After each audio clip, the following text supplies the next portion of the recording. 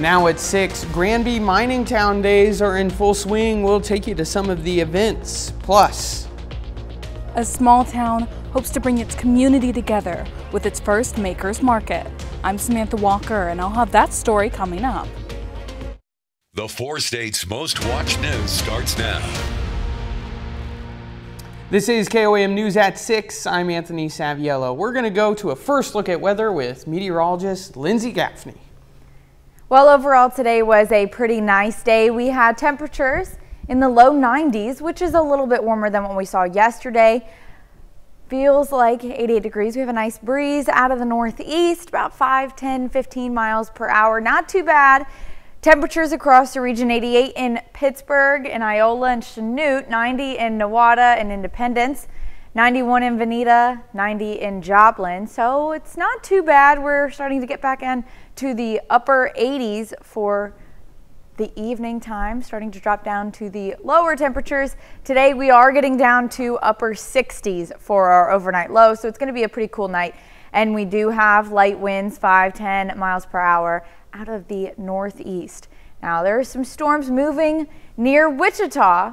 It is a cold front, although before it makes it into our area, it is going to retreat. But we do have rain chances in the forecast, and we'll talk about it in just a bit. All right, Lindsay, thanks. July is here, and hot temperatures may lead to hot tempers as well. We know the heat can affect us physically, but as Joe Hickman reports, it can affect us mentally as well.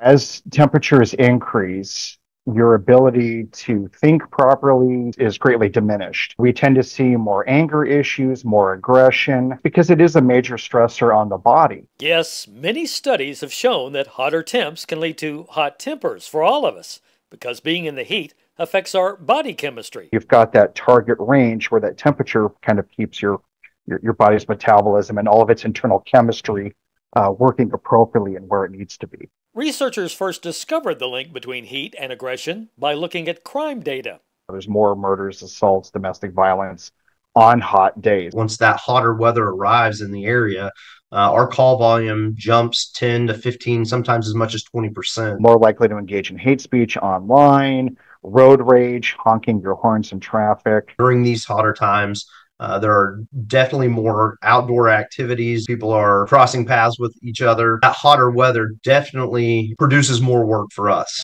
It makes sense that being uncomfortable makes us more irritable. And that's actually one of the brain's coping mechanisms, as the resources it's devoting to keeping you cool leaves less energy for everything else. And the seriousness of the problem can depend on things like medications or age can be a factor for this in terms of your tolerances and how well you can thermal regulate. And if you have an underlying mental health concern, such as depression or anxiety, PTSD, this can absolutely exacerbate that, make those issues a lot worse. So, like these elephants, the best thing you can do to avoid getting grumpy is stay cool. And if you do find your anger level starting to rise, take a step back, take a deep breath take four of them if you'd like, and be patient and understanding. The world would be a better place uh, if we all did that. Well, the city of Granby is taking on the heat with hosting its 41st annual Old Mining Town celebration. One of the events is a pop-up market which showcases local businesses from across the region. Items for sale include freeze-dried candy, crocheted animals, tumblers, and more. All proceeds from the registration fees of the vendors goes to the Grow Granby Foundation.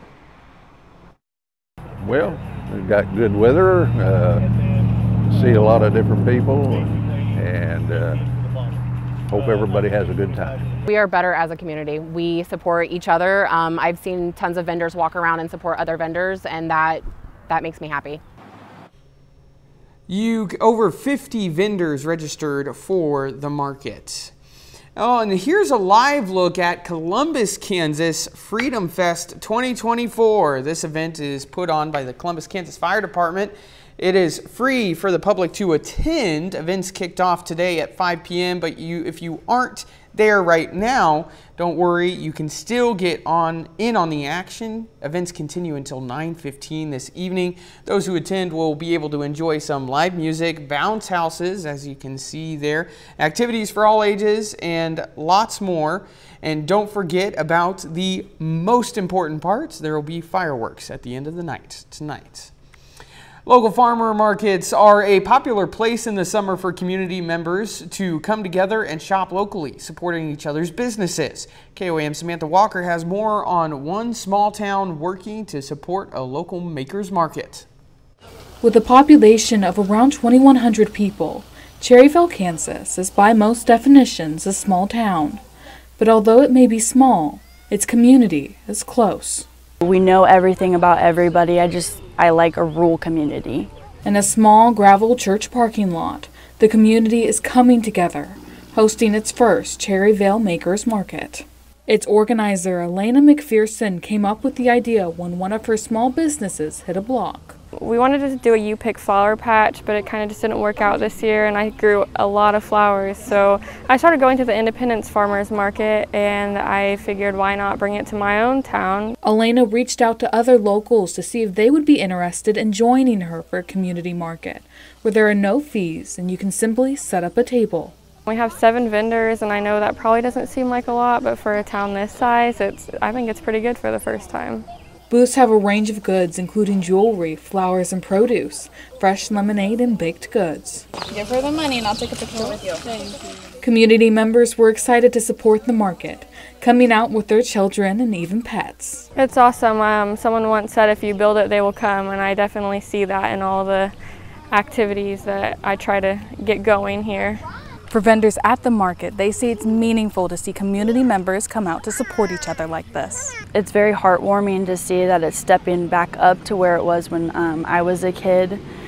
I got involved more in the community because I wanted it to be a better place for my daughter. Um, when I grew up, this was my favorite place to be, so I wanted to invest as much time as I could into this town. So it's very heartwarming to see people invest as well.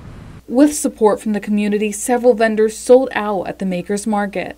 For those involved, it's a sign of the potential the small market has. I think this is a great idea. Um, I think anything that brings people together is amazing. Um, we try to do little small events and eventually they become big, so I think this will be another big one for our town. Reporting in Cherryvale, Samantha Walker, KOAM News. Today was the first Makers Market, and after seeing the community's response, organizers say they hope to make it a monthly event. Coming up, local talent stays in the four states as a Carthage football player signs with Pitt State. But first, Missouri Governor Mike Parson vetoes multiple bills that could benefit many local organizations. An update on a fatal hit and run that occurred around 7 p.m. last night near Loma Linda. Missouri Highway Patrol says a BOLO or be on the lookout was issued last night for a Dodge Dakota pickup truck. Tips from the public allowed authorities to locate said pickup and the driver who was taken into custody and his truck seized is in evidence. This is exclusive uh, from us here at KOAM. The woman he struck has been identified as Sheldana Wood. She was 60 years old. First responders spending their Saturday morning containing a fire at Missouri Metal Recycling, Webb City Fire, Police, and EMS all responding this morning with both the Duenweg and Carl Junction Fire Departments responding as mutual aid. Reports say that heavy black smoke was visible from all over town and fire has the fire has reportedly been contained. Well, Missouri Governor Mike Parsons is vetoing multiple bills that requested money from the state budget. Many organizations are hearing the bad news. It's a small park just north on Highway 65, just a few miles north of Branson. The nonprofit that runs it had some high hopes to get some additional funding from the state for improvements, but now those improvements will just have to wait. It's called Little Heroes Park. It's where the nonprofit Life's Journey set up shop.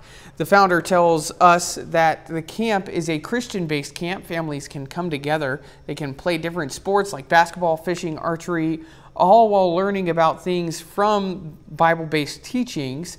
The park has been growing in recent years and now they're waiting to expand a bit and renovate. They reached out to the legislature for a grant, but the governor just vetoed that bill. The 50,000 that was going to come was going to basically do a second soccer basketball court which would, you know, encourage, be able to have uh, tournaments for pickleball, for three-on-three basketball, for soccer, and then improvements in the parking lot. So, hey, it would have went a long ways if we would have got that. Ricate says he's understanding of how the legislature works. He's just grateful state leaders took the time to get the park worked into the bill. A little later, storms this past week wreaking havoc on Missourians. We'll have the details. And we'll talk about the uh, upcoming storms that we have beginning of this week right after the break.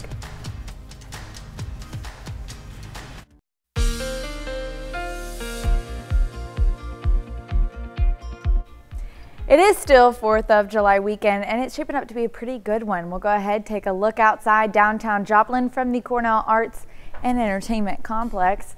Clear skies. We do have a few fair weather clouds out there, but overall today is shaping up to be a really great day. We have a light breeze out of the southwest. We'll shift over tomorrow as we have a cold front passing.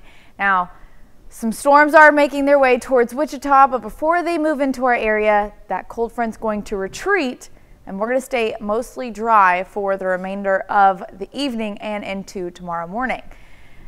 The cold front that is moving into Wichita did drop a couple tornadoes, some wind damage. It is going to be a strong one, although as it moves through our area tomorrow, we're really not looking at a severe threat.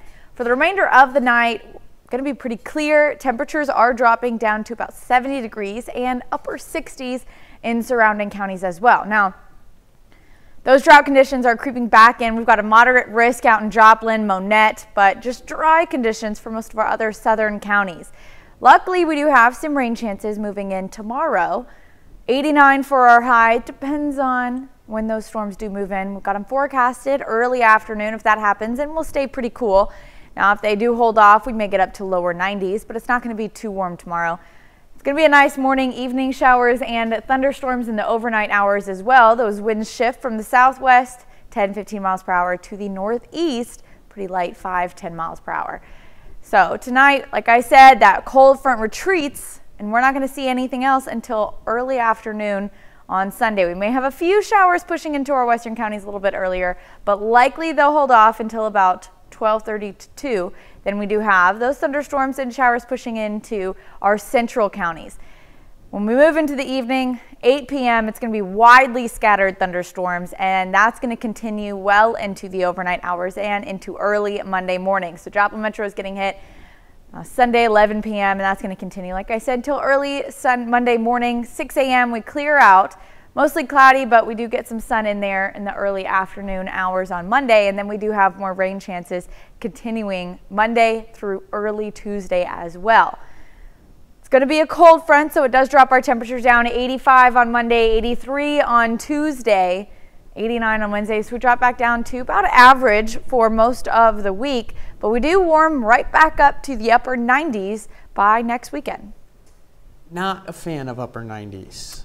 No, but it's summer, as you continue. I definitely I have enjoyed the last the summer. I have enjoyed the last couple of days, though. You know, in the 80s and yeah. clear skies. It's been nice. It has been nice. It has. Yeah. Thanks, Lindsay. A cleanup for dozens is underway after strong winds and a powerful storm ripped through Cape Fair on Table Rock Lake. Officials say a tornado damaged nearly 20 boats at the dock and took down a nearby cell tower. Charmel Odell has the latest. Ground level winds nearly 70 miles per hour swept through Cape Fair Thursday evening.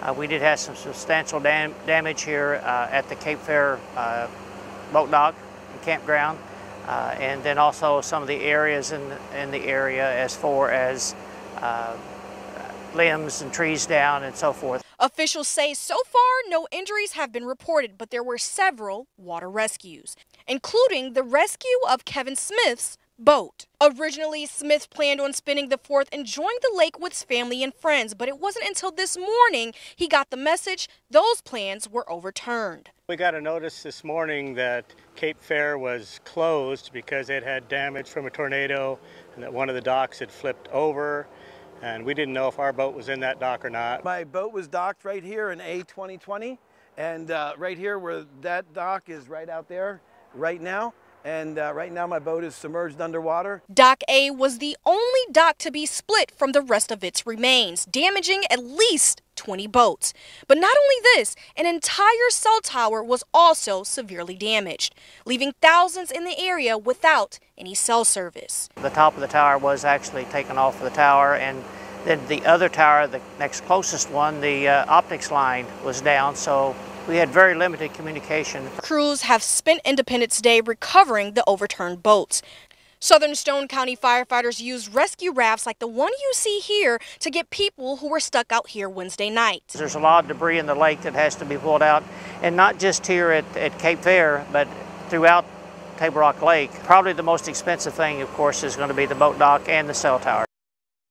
Still ahead, the Joplin Outlaws look to snap their three-game losing streak, and a local high school football player commits to Pittsburg State.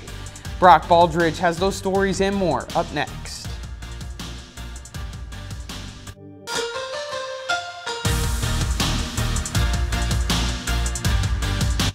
Pittsburg State football has been busy adding talent to their roster this offseason. This weekend, the Gorillas pick up a local commitment out of Carthage High School. Trevor Meadows out of Carthage announced on his social media platforms that he is committed to continue his football career and academic career to Pittsburg State University. In his junior season, Meadows was second team All COC defensive lineman and was selected to the Class 5 SWMFCA first team All Defense uh, since day one, I've started talking to Everett and Nutt, Coach Nutt, and uh, just they've shown me love. They always keep a hold of me, call, text me, and just it's just a program that wins. I mean, they're competing, uh, wanting to compete for national championships, and I want to be a part of it. I used to live here when I was younger. Came back in uh, eighth grade, 160 pounds, and uh, playing. I was really small at the end, and then working with Coach Guidey and just all my coaches getting bigger, stronger, faster, just developed me into being the player I am now and given the chance to play at the next level. The Joplin Outlaws have lost three straight games heading into Saturday. Joplin looks to even the series after dropping the opening game to the first place Abilene Flying Bison. So Joplin lost a tough game last night. They look to bounce back tonight against Abilene. Joplin falls to third place in the Mid-American League standings after last night's loss. First pitch in this game is scheduled for 7.05 p.m. We'll have the highlights from that game right here tonight at 10. In Major League Baseball, the St. Louis Cardinals visit the Washington Nationals. Really tough day for Lance Lynn on the mound as he gives up nine earned runs in the first two innings of the game. Washington goes on to win big to beat St. Louis 14 to 6. And the Kansas City Royals look to bounce back after losing last night's series opener to the Colorado Rockies. First pitch for that one is scheduled for 8:10 p.m. We'll have a final score update from Denver tonight at 10.